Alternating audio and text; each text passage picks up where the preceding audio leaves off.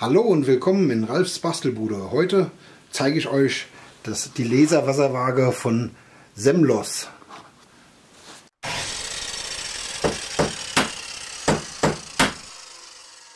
Ich habe von der Firma Selmus diesen, diese Laserwasserwaage bekommen. Im Lieferumfang enthalten ist so ein kleines Stahllineal, ein kleiner Schraubenzieher, Kreuzschlitz, eine deutsche Bedienungsanleitung, eine Garantiekarte für zwölf Monate und außerdem noch drei Ersatzbatterien. Das ist eigentlich ein ganz guter Lieferumfang. Zunächst mal zur Bedienungsanleitung. Die ist ähm, mit dem Google-Übersetzer vom Chinesischen auf Englische, vom Englischen aufs Deutsche übersetzt worden. Also so eine ganz typische chinesische Bedienungsanleitung. Aber gut, es ist wie es ist. Man kann eigentlich nicht viel damit anfangen. Auch die Garantiekarte ist äh, richtig lustig. Außen steht drauf, 12 Monate Garantie. Innen dann auf Englisch, wenn du glücklich bist mit dem Kauf, dann ähm, schreib einen Review auf Amazon und teile das mit deiner Familie und deinen Freunden. Wenn du irgendein Problem hast, kein Problem, kontaktiere uns entweder über Amazon, über, das, äh, über den Messenger, über das Messenger Center oder über eine entsprechende E-Mail-Adresse. Das ist die Garantiekarte. Zwölf Monate sagt halt nicht viel aus, was äh, die Garantie umschließt. Der Schraubenzieher ist dabei, um die Batterien zu wechseln. Wenn die mal leer sind, da ist hier so eine kleine Klappe mit, einem, mit einer Kreuzschlitzschraube gesichert und äh, die kann man dann eben mit dem kleinen Schraubenzieher hier aufmachen.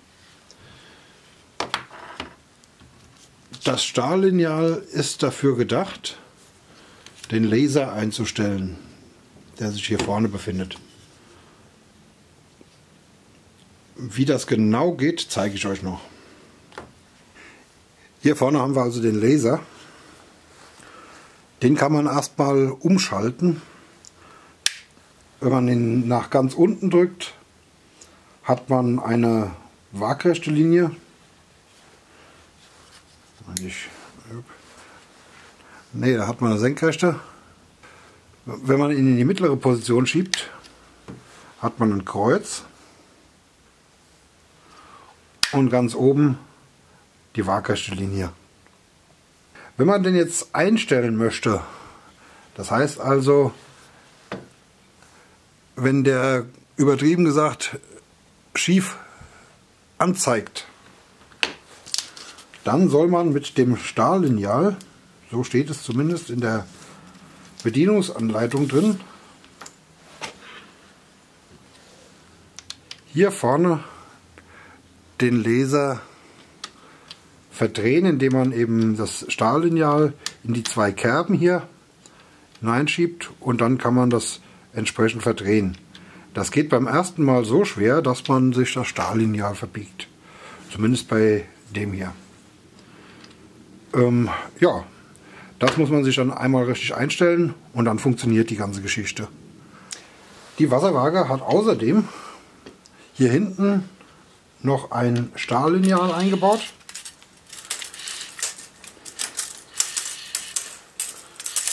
Und zwar zeigt das sowohl in Fuß als auch in Zentimetern. Und das ist schon ungewöhnlich. 2,50 Meter beziehungsweise 8 Fuß an. Mit dem Knopf hier kann man es wieder einfahren.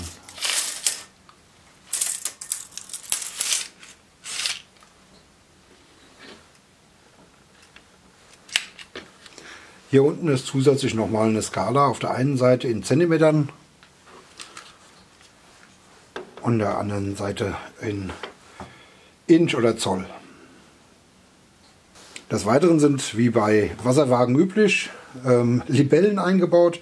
Und zwar drei Stück. Einmal für die horizontale, für die vertikale und im 45 Grad Winkel. Was diese Wasserwaage jetzt ganz erheblich von anderen Wasserwagen unterscheidet, ist der eingebaute Laser. Und der ist gar nicht so unpraktisch. Also man muss erstmal ähm, sich eine Anwendung überlegen. Auf Anhieb ist mir bei der Anordnung vom Laser erstmal ähm, keine Anwendung eingefallen, weil der an einer merkwürdigen Stelle sitzt. Er sitzt in Verlängerung der Wasserwaage. Das heißt also, und dann auch, auch noch in der Mitte, also nicht an der oberen oder unteren Kante, sondern er sitzt in der Mitte. Was kann ich also mit diesem Laser machen? Wenn ich den einschalte, also er ist erstmal grundsätzlich stark genug, man sieht ihn,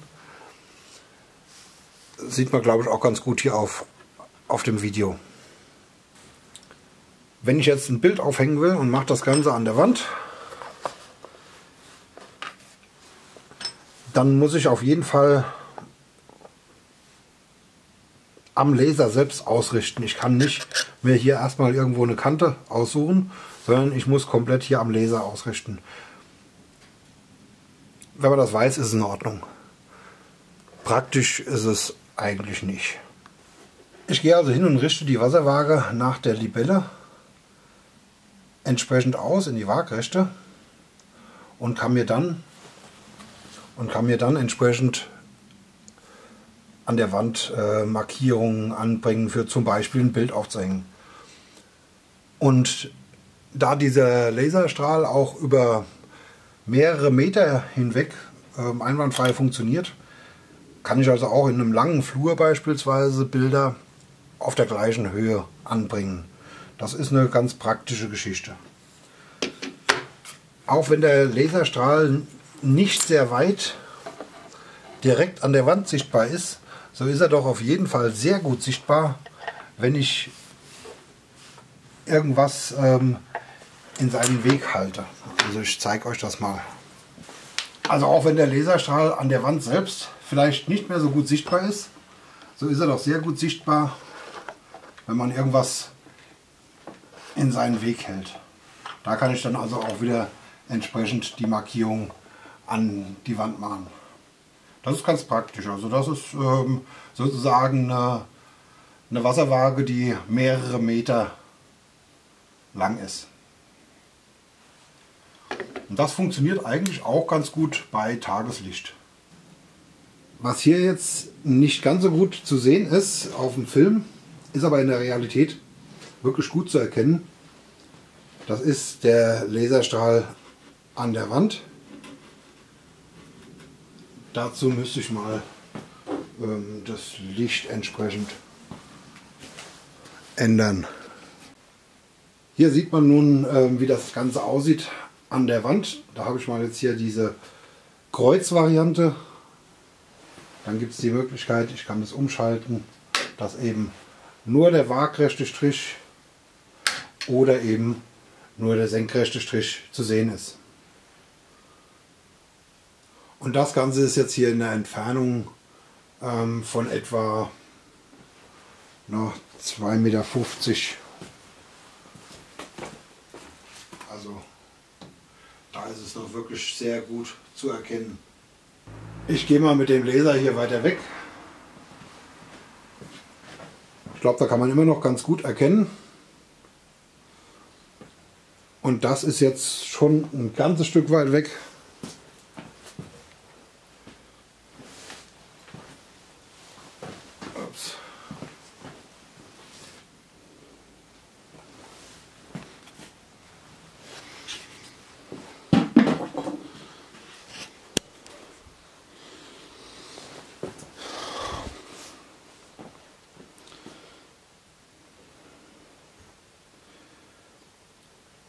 So, man kann hier, glaube ich, immer noch ganz gut erkennen.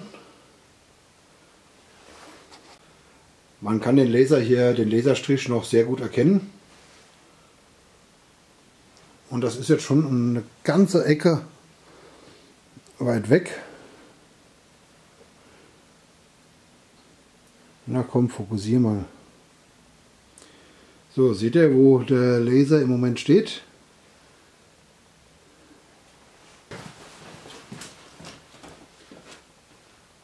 Hier hinten. Das sind jetzt ungefähr so ja, 6 Meter Entfernung und ähm, das geht einwandfrei. Ich stelle jetzt mal noch weiter weg. Das sind jetzt 10 Meter. Mal gucken, ob man den noch. Ja, man kann noch erkennen. So.